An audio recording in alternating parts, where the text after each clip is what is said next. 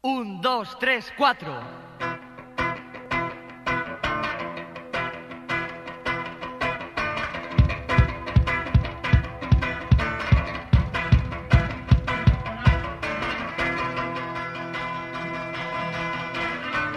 Mi nombre es eh, Guillermo Fadanelli.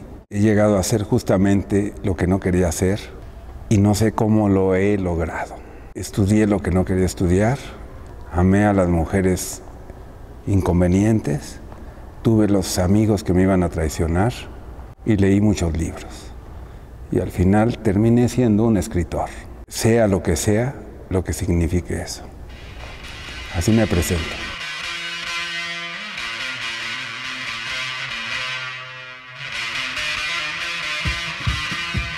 Mi infancia fue pues, una familia de pobres. Eh, mi padre eh, conducía un trolebús que iba de Ciudad Universitaria al Palacio de los Deportes.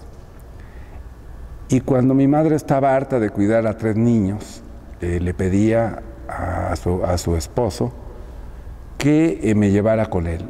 Entonces yo a los tres o cuatro años ya cobraba los boletos justamente eh, en esa ruta.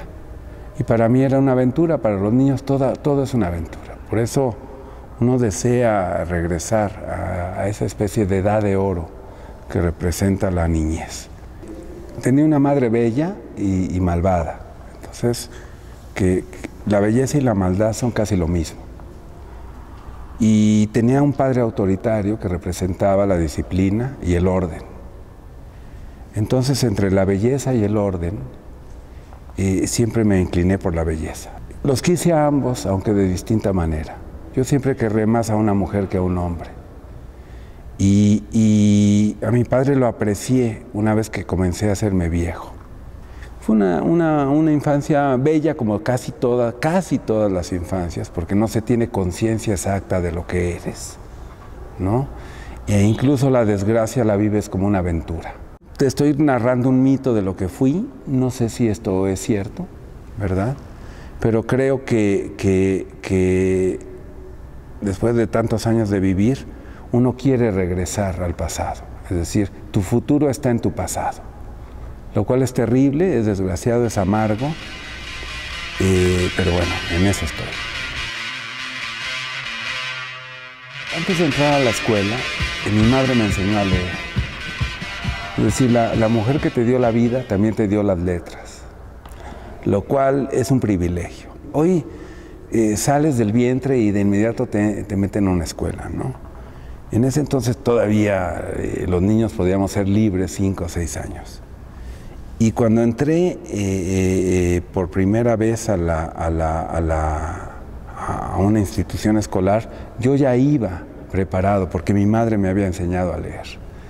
Entonces, ese fue mi primer privilegio y mi primera vanidad, saber leer antes que todo los, el resto de los alumnos.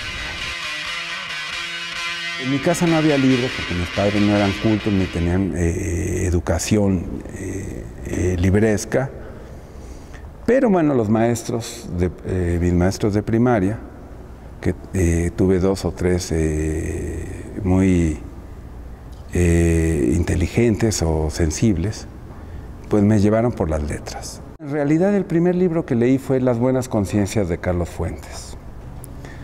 Y las novelas de la revolución, las leí cuando tenía yo 16 años, Mariano Azuela, Rafael... F. Muñoz, este, eh, eh, Martín, Martín, Luis Guzmán, los de abajo, de Rojas González, historias realistas y que conmovieron al niño que fui. Ese fue mi, mi comienzo en la literatura, la novela de la Revolución Mexicana. Escribí un par de poemas para la vecina, eh, al lado de mi casa, que además era una, era una gringa que no leía bien español, por eso la pude convencer. Entonces le escribía poemas y de inmediatamente ella me abría las piernas. ¿no? Entonces, eh, eh, eh, la poesía como la posibilidad de que una mujer abra las piernas, lo que quiere decir el ser y el mundo y el origen y la nada, ¿no? Pues bueno, eh, me, llevó a, decir, esto me interesa. Si, una mujer se siente seducida por una tontería absoluta como es la poesía, entonces la poesía tiene importancia. Alberto Batis fue de alguna manera un detonador y un estimulante. ¿Por qué? Porque cada vez que yo era cínico, mientras no fuera grosero, mientras no fuera vulgar, él siempre me eh, apoyaba.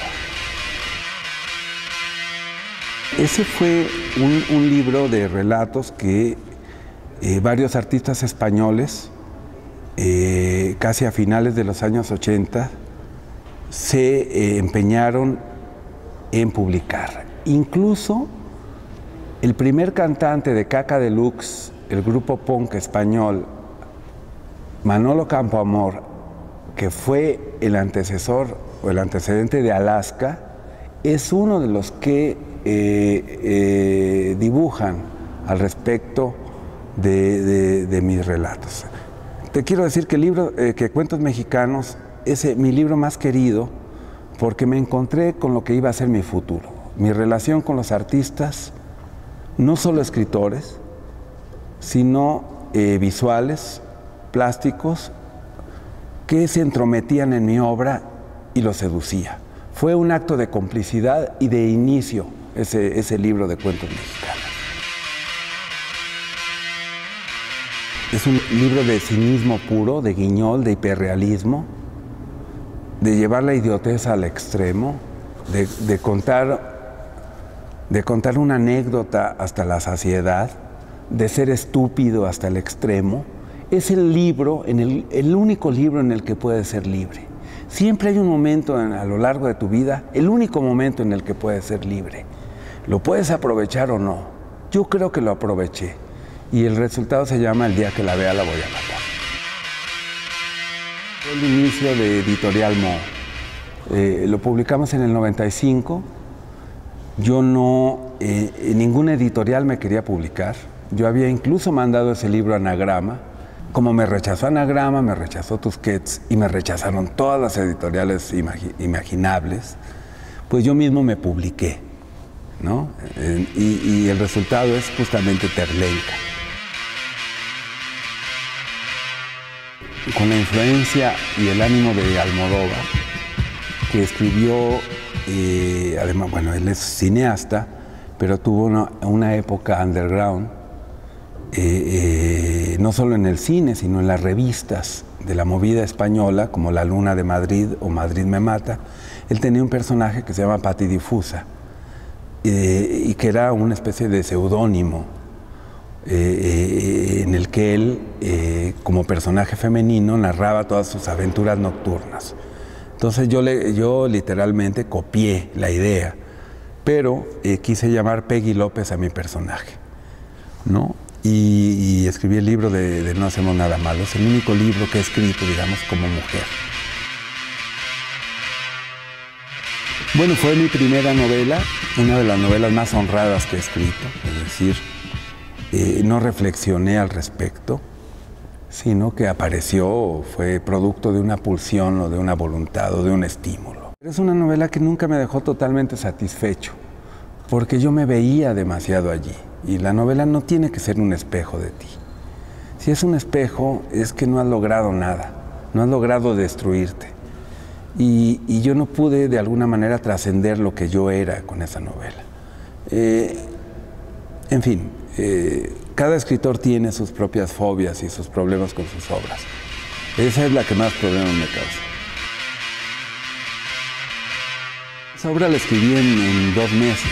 Es un ejercicio de estilo quería yo demostrarme a mí mismo que podía escribir, ¿no?